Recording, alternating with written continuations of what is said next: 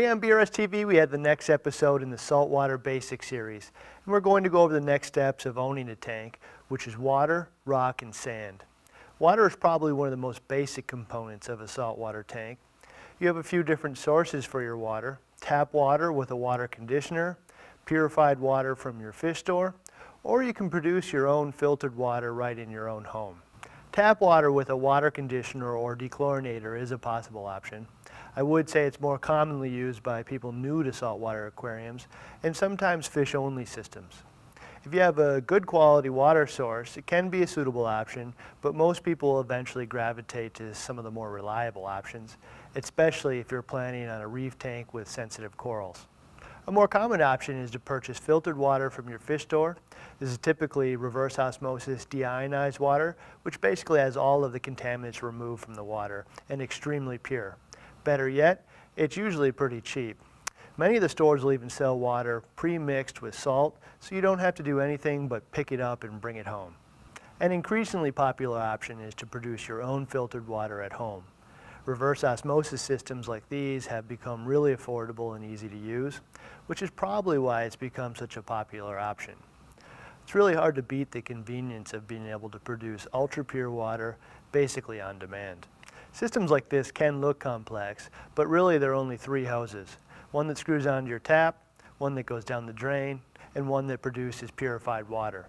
Basically all you need to do is turn it on and collect the water. Whether you produce it at home or pick it up at the fish store, reverse osmosis has really become a staple in reefing today. Using high quality water like this will greatly increase the likelihood of having a long-term successful tank. The next step is to add your salt mix and mix up your water. You will need to select a salt mix to use. The best advice I can give you is find someone you trust, has a successful reef tank, and ask them what they use. Beyond that, I personally try to use salt mix produced by mid-sized companies that are owned and operated by people who are passionate about reefing rather than large publicly traded companies. At BRS, most of us are currently using the Red Sea salt, but honestly, I've seen people be successful with almost every brand of salt out there, so it really isn't that big of a decision. Mixing the salt is pretty simple. You'll want to start with a food grade bin to house the water. The best option is fancy drums like these found at local plumbing suppliers, but the most common option is probably the Brute brand of trash can produced by Rubbermaid.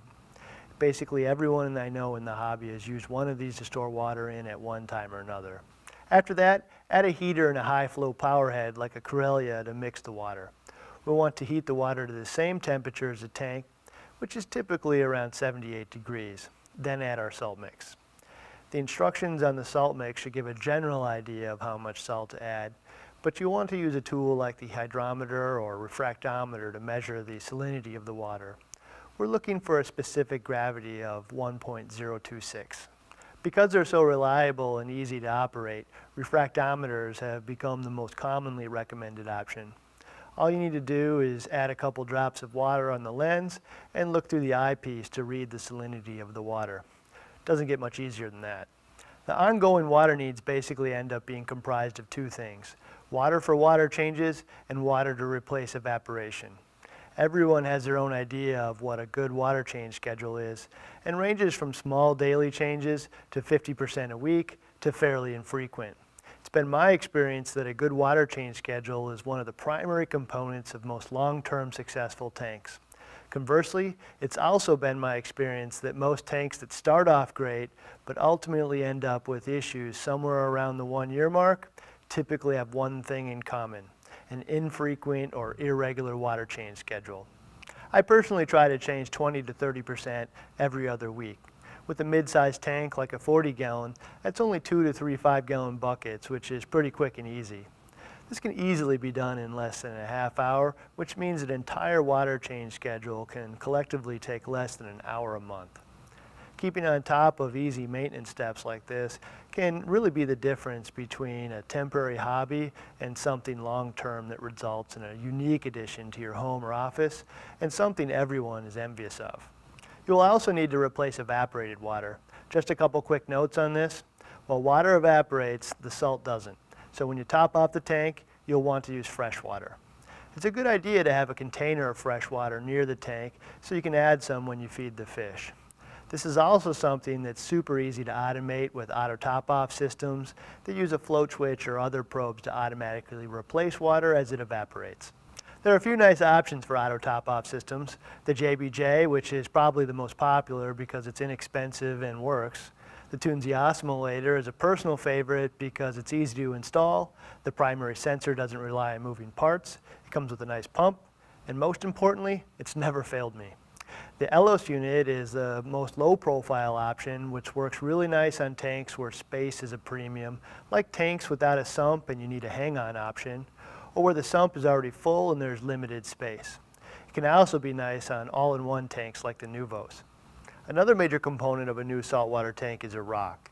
Your rock will serve a few basic purposes, obvious visual appeal, homes for the tank inhabitants, but most importantly, the surface area of the rock hosts beneficial bacteria, which will serve as most reef aquariums' primary filtration.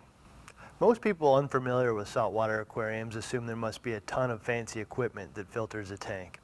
And while there certainly is equipment that will make it easier, in most cases, it's the rock itself that does the primary filtration. Beneficial bacteria populates the surface of the rock. It's this bacteria that will be your tank's primary filter. The various strains of bacteria will work in series to break down uneaten food as well as fish waste into relatively harmless substances, which are generally removed with water changes and other methods. The live bacteria is the primary reason rock sold to the aquarium industry is referred to as live rock. Live rock is typically harvested in the ocean, so will probably come with some other live organisms as well. Most of these things are desirable like purple coralline algae or tiny crustaceans like copepods and amphipods. Using live rock is one of the quickest ways to get a tank established and ready for livestock. It's also become increasingly popular to start with dry rock, which is essentially dead, and allow it to repopulate with these bacteria strains and other organisms. The bacteria will populate naturally on its own, but you can boost it with bacterial products like Biospira. Generally, it will take a few extra weeks with dry rock before the bacteria populations reproduce and stabilize around the available food source.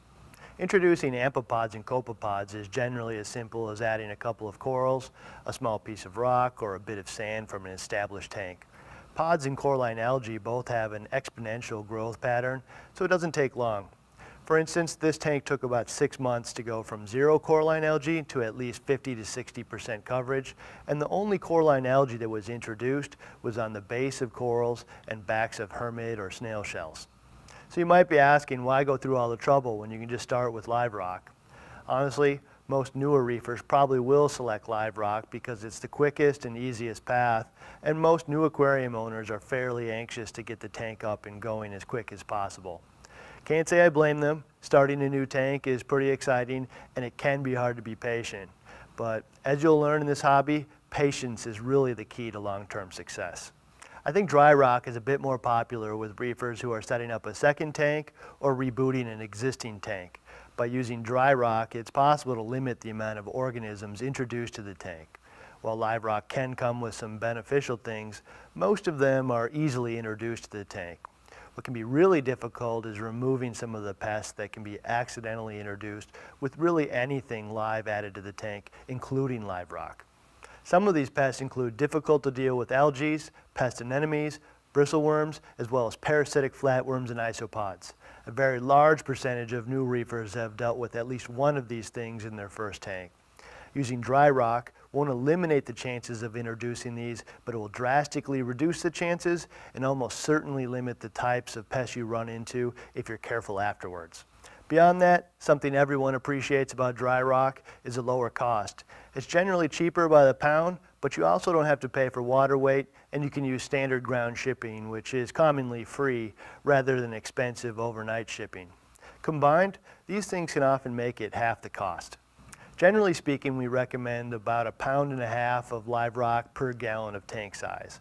With dry rock, we generally recommend three quarters to one pound per gallon depending on the type of rock chosen. For instance, Pukani rock is known for being particularly light and porous, so you can go on the lighter side. Last thing we're going to cover today is sand. General rule of thumb is one pound of sand per gallon of tank size, which is often around two inches. The amount of sand is really fairly flexible. A portion of this is just an aesthetic issue. Some people like less, some people like more. Some people even like to go with a bare bottom because it makes the tank easier to clean. You may want to consider the type of fish you plan on having as well. Popular fish like sand-sifting gobies as well as wrasses that sleep in the sand are going to prefer at least two inches.